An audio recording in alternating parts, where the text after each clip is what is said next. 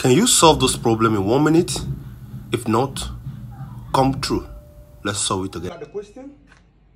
This one converted to improper fraction. So there's 2 times 7 is 14, plus 1, 15 over 2. Okay? Minus this one here, 2 times 2, 4, plus 1, 5 over 2, plus 3,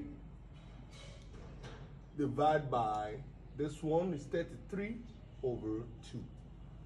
So quickly, so this is 15 over 2. So what you do now is for you to work on the parentheses, this bracket here, work on it.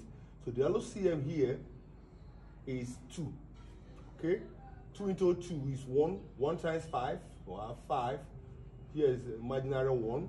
2 into 1 is um, 2. 2 times 3 give me 6. Right? Divide by 33 over 2. So what you do next is we'll simplify further. This is uh, 11 over 2 divided by 33 over 2. Okay, quickly.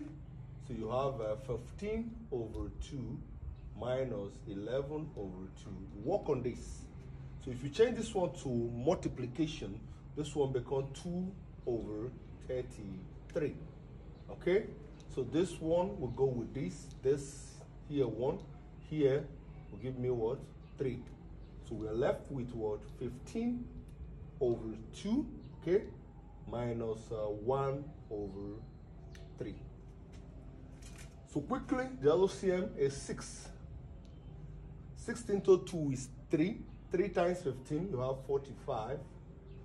Okay? So here is 2. 2 times 1, you have what? 2. So quickly, you can now have uh, 45 minus uh, 2 is uh, 43 over 6. So this one will quickly give us uh, 42. That is a 7 whole number, 1 over 6. Very easy one, okay? So go through it. If you have any question, drop it in the comment section. Thank you.